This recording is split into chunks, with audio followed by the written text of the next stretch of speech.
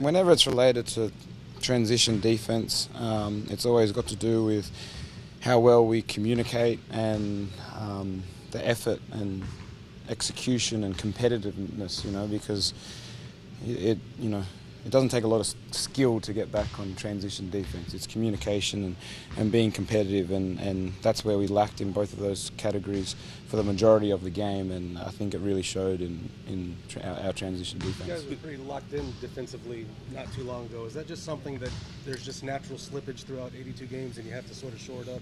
I mean, take a beat and shore it up every now and then. Yeah, you, you hate to make excuses, but um, we were really solid defensively um, in, in all categories for um, a, a, little bit of time there. Um, but maybe you know this is what new teams go through is is not being able to um, be consistent with that throughout a longer period of time. Um, so you know maybe that's got got to do with it, but for us to keep learning from from these games and making sure that, that it doesn't happen again. But we obviously know what we what we can do, and it's like I said, being consistent about it.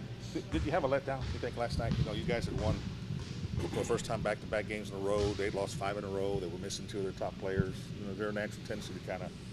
Yeah, like, like I said, I, I, didn't think we, you know, rocked up to the game with that mindset that we've had lately. Um, so definitely a, a slippage and.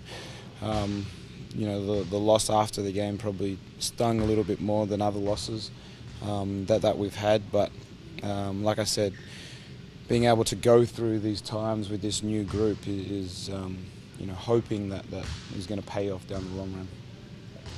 What are you seeing from Demar right now? It seems like he's trying to work himself out of a little funk or something. Yeah, look, he, you know, I, I made this comment last night after the game too that he um, he brings so much more to our team than just being able to score the ball, and that's what makes it so enjoyable to, to play with him.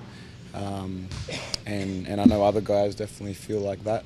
So, you know, being able to, to force him himself out of it, I don't think you know is necessarily the way, and, and, and he's going about it in a way that you know can come naturally, and obviously we're we're supporting him and, and, and we've got his back no, no matter what. But um, other than that, he brings so much more to, to our group. Um, I believe that he makes, you know, us as teammates better.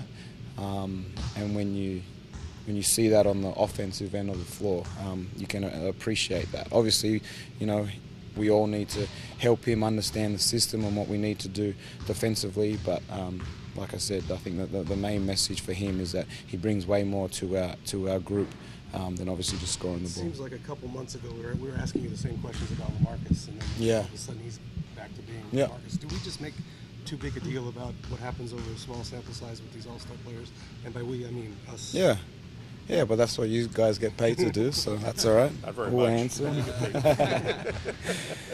uh, yeah, look, it's it's it's basketball. It's being a professional athlete. It's it's understanding that nothing's going to be handed you on a silver platter, and um, you know you've got to take what comes and, and, and learn from it and, and move on the, the best you can. And um, you know there's going to be adversities and hurdles in, in front of you, and that's just being a professional player. I think that's what also makes your comeback um, even sweeter when you're able to um, get back in the saddle and, and and learn from it down the long run, I think that's what makes it it's sweeter. Fair to say those kind of things are more of a conversation for us than they are in the locker room. Oh, that's all right. I can, I can come in and give my two cents and leave again.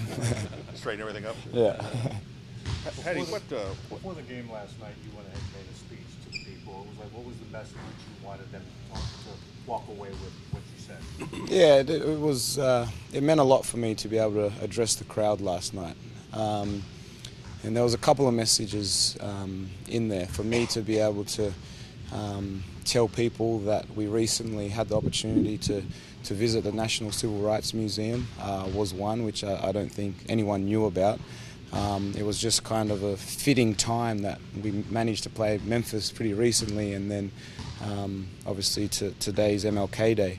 Um, the, the, the second one of being able to um, educate, I think, is is the biggest message that I, I um, try to learn from. And, and I think, given my times here in the States and, and really understanding on a deeper level um, the messages of the civil rights movements and, and Martin Luther King. Um, and, and, and growing from that, you know, I, I've really appreciated a lot more. I've, I've really been able to respect and, and, and honour um, all that has been done.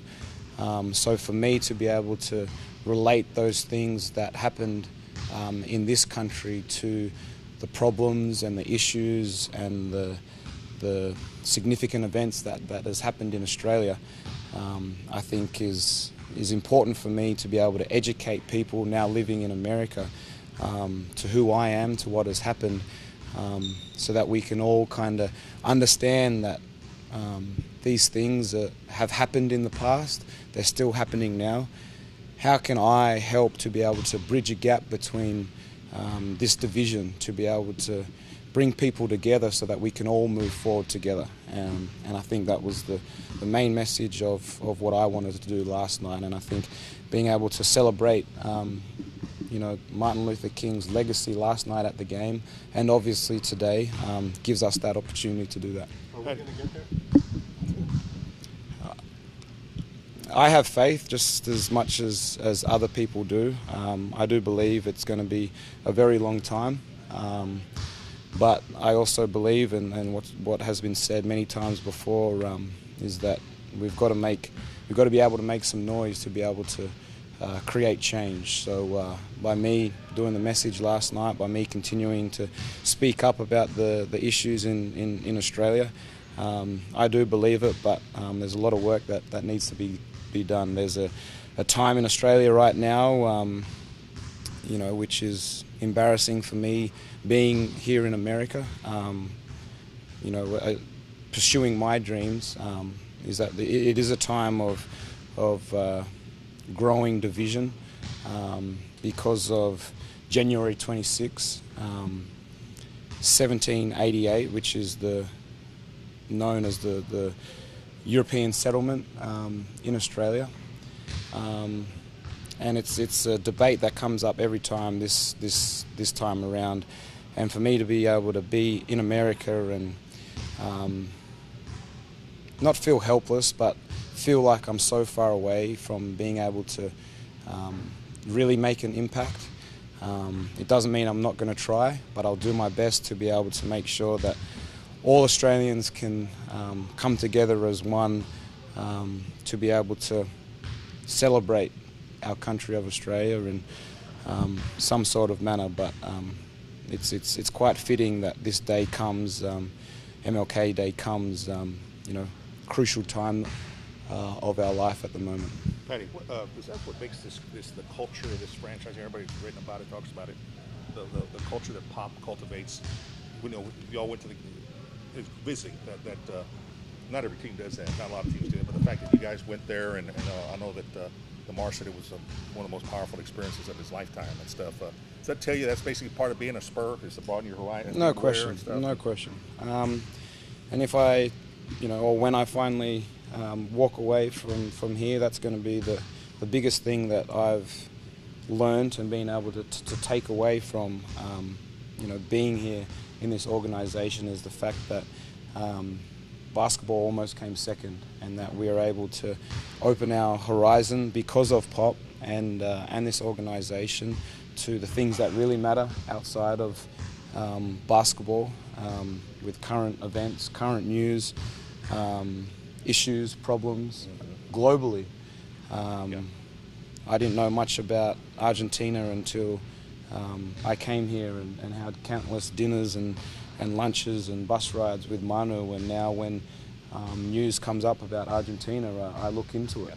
Um, so I think back to your your point, it's it's it's it's still about educating people on the past, so that we can we can learn from that and we can understand how to deal with situations today. What, what did it feel like to be there on that balcony and to stand, like Lamar said, to stand there where he was actually struck down? Powerful. Very powerful. Yep, very powerful. Um, that obviously was probably the most powerful um, exhibit, if you like, um, of the museum um, and, and, and touching, but the whole the whole museum with the 23 or so exhibits that they have there is, is you know makes your hair stand up. For me, the the Rosa Park exhibits where you you you go on you actually go walk onto the bus and sit in the seats. It was a bus that was very similar um, to the the ones back then, um, and to see um, you know a statue of her in the bus and and you know the the ads and the commercials that are on along the bus. Um, it was very um, you felt like you were back there. you were back there. Um, so that was one of my favorite favorite exhibits. Montgomery, Alabama bus ride. And that's something. That's Patty, very well said. Thank you. It.